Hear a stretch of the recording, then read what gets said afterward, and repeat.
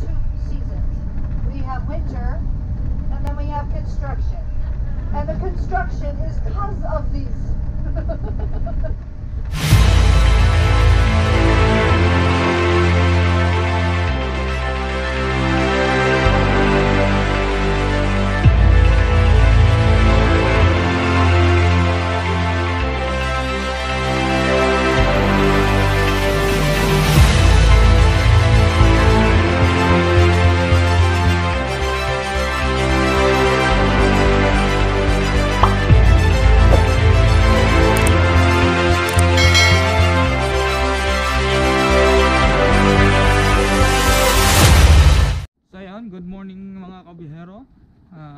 narito kami ngayon sa ah, Banff.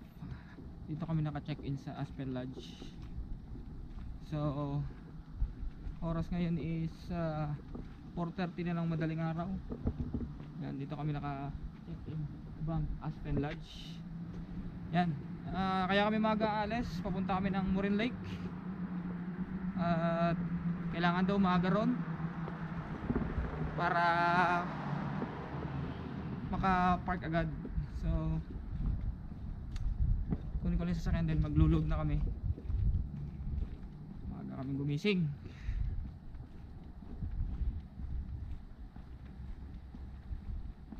Hindi ko masyado malamig. Pero sa taas, sobrang lamig.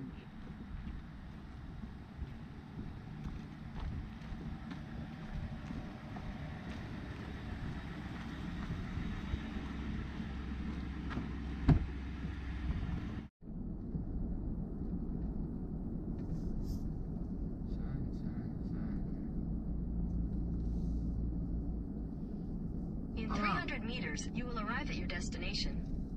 Uy, dami ng sasakyan. Napakarami no. Uy, puno! Hindi ba pwede dyan? Went wrong way. Wow! Puno na!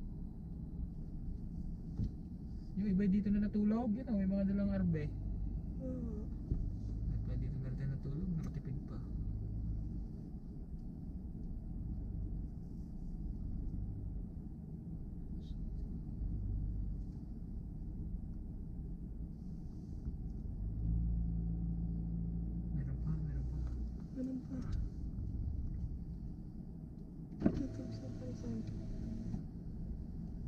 Morning. Morning. Just drive all the way around and there's some spots down here. Okay, thank you. Dami pa pala. Buti na lang. Ito, ano to? Hindi, yan doon sa babae. Eh. Ngayon, dami pa oh. O, sige baba.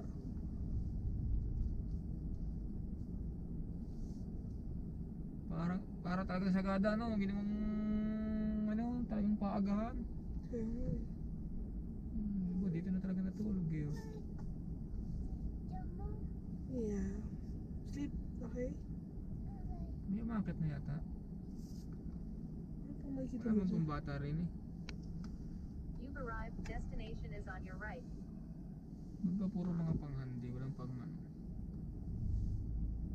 Morin Lake Lodge. Swerte na lang check-in dyan.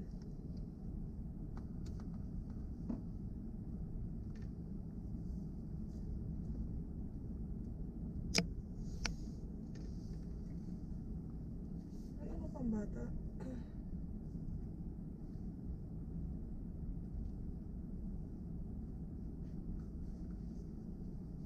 Nice way.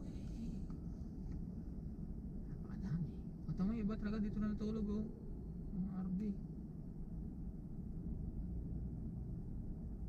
Camper Vans. Sabi mo marami. Ayun doon sa banda ron. ang dami.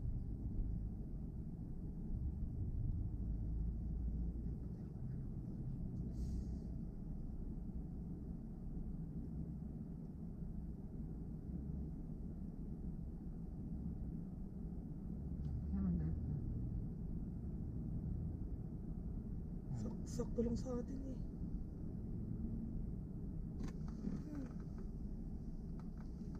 malate lang tayo ng konti, ubos na. No? Hmm.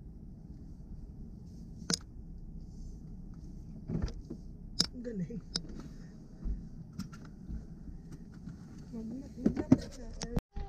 Good morning, Bulsa. Ano, granola. Good morning. Okay. Ito Dito sumunod.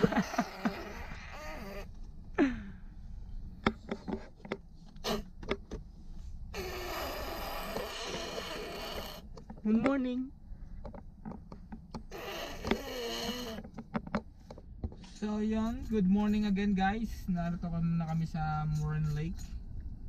So paagahan talaga rito sa Moran Lake na to. Halos mapuno na yung sasakyan. Kung na late late pa kami, ano na, full parking na. So buti nakaabot pa kami.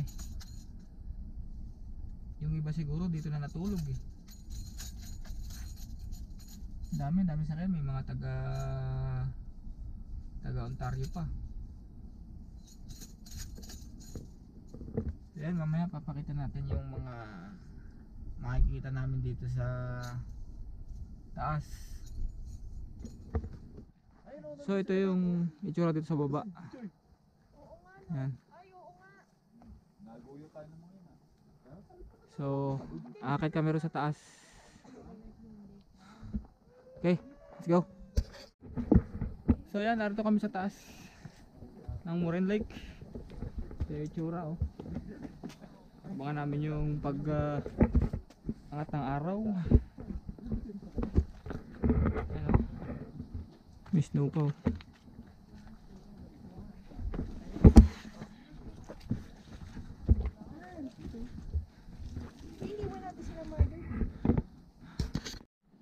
So yan, abangan namin yung pagsikat ng araw dito.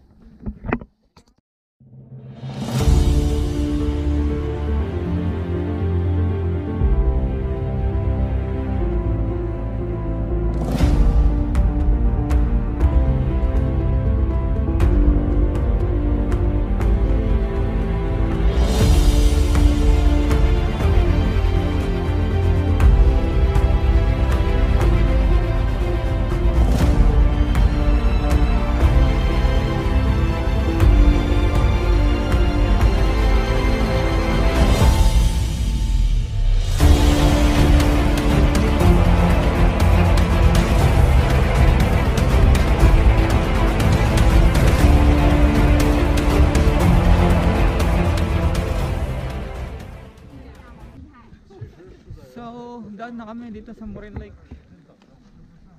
Lake Louise naman. Yan na yung isang view dito sa baba. oh.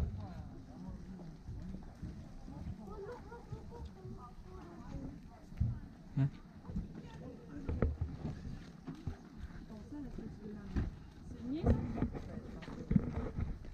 Head to Saan? Lake Louise. Knockout.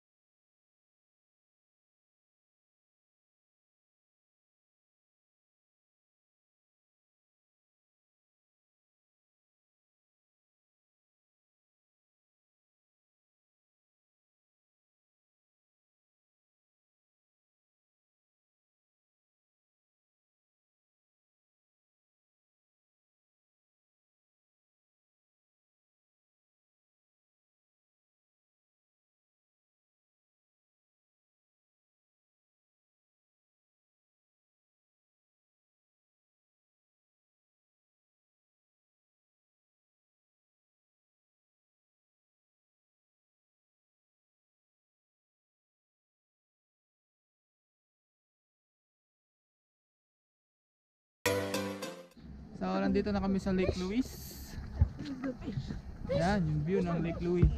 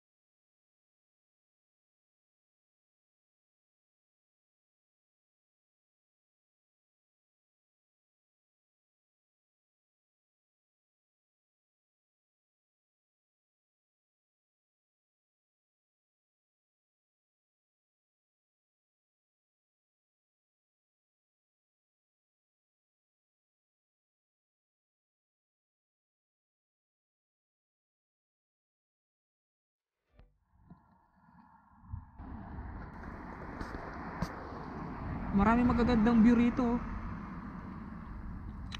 Tama yun oh, dami, dami pang snow roll sa taas oh. Yun oh.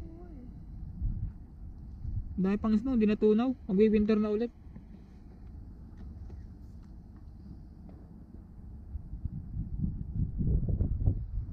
Napakaganda.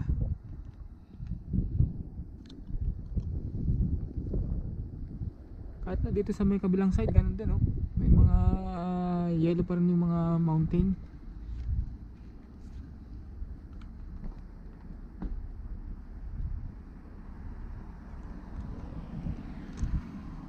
So yun, nagpalipad tayo ng konti ng drone. So malakas lang yung hangin kaya hindi natin nakuha ng ah, medyo maganda. Pinilit lang. Siguro may nagka-climbing dun oh.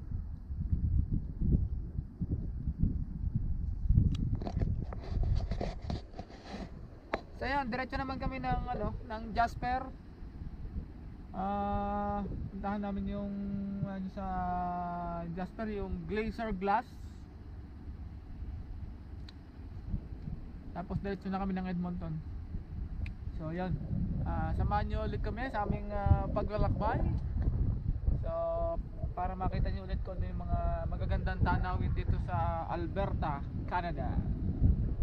Ayan, see you guys again on the road. So ayan, nag-stop over muna kami rito. Ah, medyo daw magandang view eh. Which is ito lang naman. Yan lang. Yan lang.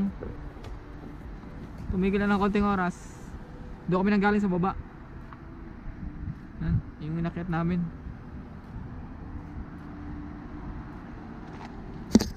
Sasakay kami ng bus.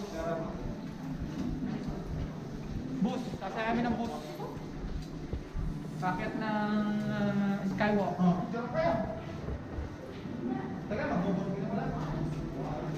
Boarding na. Boarding na po kami. Hindi po pwedeng ah, dalhin yung sasakyan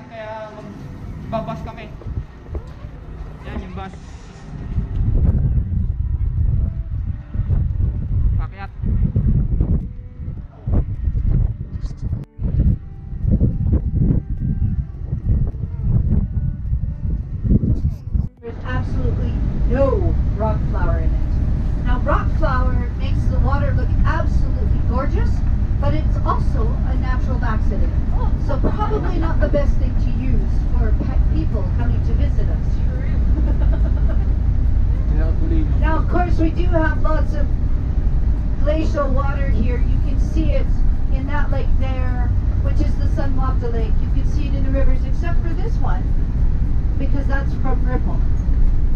But the rivers that come from our glaciers are all filled with rock flour. So unless, of course, you need to be unstopped, I wouldn't drink that.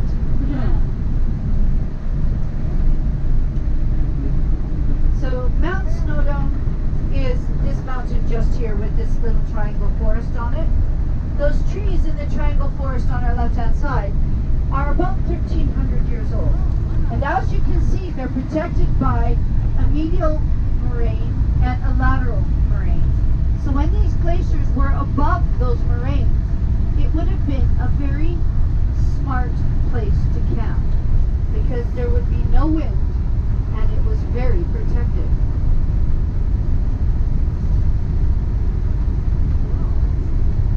So the River is the river that runs alongside of us here. Now, that river is a braided river system. And as we drive along, you're going to see how chaotic the pattern is. It's almost like a two-year-old running around. You'll see what I mean. And it's fun. It's like a woman's mind. And It goes this way and that and it changes again. And you're going to notice just exactly what I mean by that as we make our way along here. Also, you can see a few rocks. We're just going to pass away from the river and let it do its thing. And we're going to start looking at some rocks because of that, that cycle. And in the mountains, we only have two seasons. We have winter and then we have construction. And the construction is because of these. So as you look out on the left-hand side again, you're gonna see the pattern I was talking about. Because it's gonna go this way and that, and turn and crank, and turn and go that way, and run around, and then it goes over around there,